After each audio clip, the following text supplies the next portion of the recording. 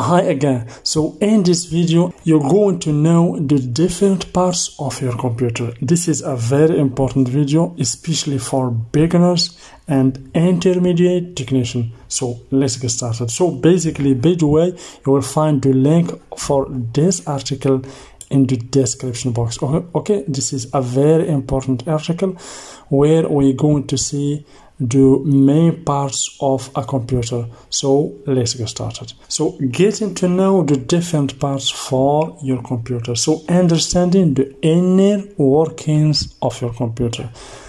Have you ever wondered how your computer is able to perform such as complex tasks? From browsing to web to running intricate software programs, our computers seems to have a mind of their own.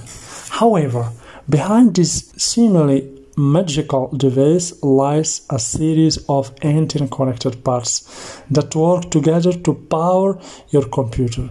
In this article, we will dive in into the various components of a computer, demystifying the maze and shedding light on the different parts that makes it all possible. So let's begin with the first part, the CPU or the central processing unit, the mind of a computer or the processor okay at the heart or air of every computer is the central processing unit or CPU. Think of it as the brain of your computer responsible for executing instructions and performing calculations. The CPU is made up of several key components, including the arithmetic logic unit, ALU, and the control unit. The arithmetic logic unit performs mathematical operations such as addition and subtraction, while the control unit is responsible for fetching and executing instructions.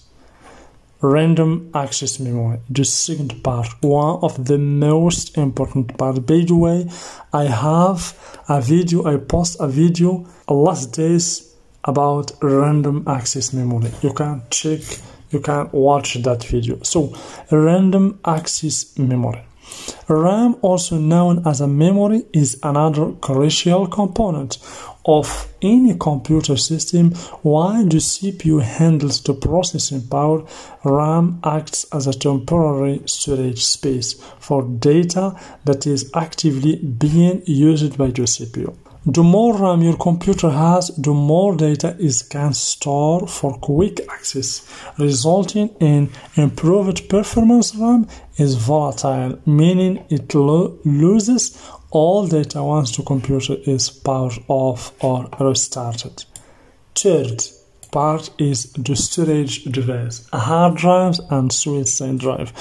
By the way, there is until now or there is more but the main devices storage devices is the hard disk drive like this one in the picture and the solid state drive that is like just a flash disk okay? And the third one is the NVMe we're gonna see all this when it comes to long-term storage, your computer relies on either a hard drive HDD or a solid-state drive SSD. Both serves to the same purpose of storing your files, but they do so in different ways. A traditional hard drive contains spinning disks called platters, which are read and written to using a mechanical arm. In contrast, a solid-state drive uses flash memory chips, resulting in faster read and write speeds. SSDs or solid-state drives are becoming increasingly popular due to their speed and durability. The motherboard and expansion slots. So here we're gonna see the expansion slots. The motherboard acts as a main circuit board of your computer, providing the platform for all other components to connect it houses the CPU, RAM, storage drivers, and other essential components. Additionally, the motherboard contains expansion slots or sockets, which allow you to add or upgrade components in the future. This includes slots for graphic card, sound card, and networking card, among others. So, the graphic processing unit or the GPU, one of the most important part in every motherboard, especially for gaming purposes. While the GPU handles general computing tasks, a separate graphics processing unit or GPU is responsible for handling graphics intensive tasks.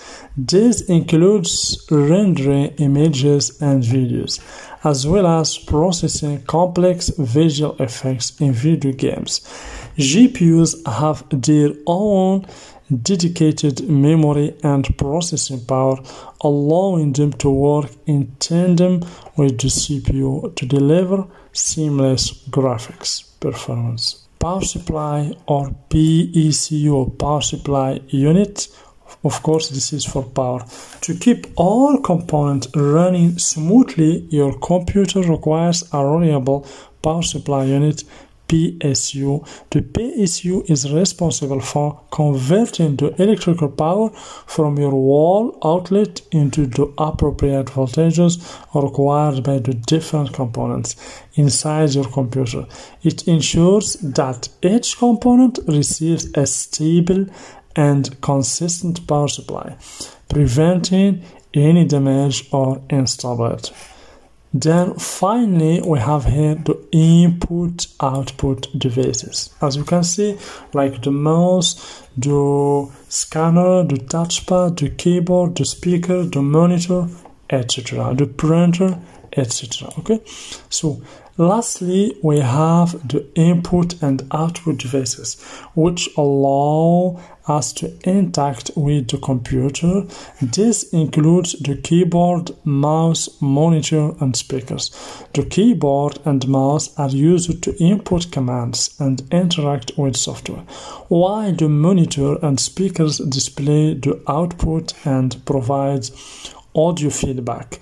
These devices are essential for use to communicate with our computers and make the most out of their capabilities. As a conclusion, understanding the various components that power your computer can demystify the maze of technology and provide valuable insight into how your device functions from the CPU's processing power to the storage provided by hard drive and SSDs. Each component plays a vital role in enabling your computer to perform complex tasks. By delving into the inner workings of your computer, you can develop a greater appreciation for the technology that surrounds us and empower yourself to make informed decisions when it comes to upgrading or troubleshooting your machines. Of course, there is other parts of computer but this is the main important parts that you can find in every computer of course there is the bios for example the basic input output system etc but this is the very important parts that you can consider. So thank you very much guys. Don't forget please to subscribe share and like the video because your likes and engagements motivate me to create better content for you. See you in the next video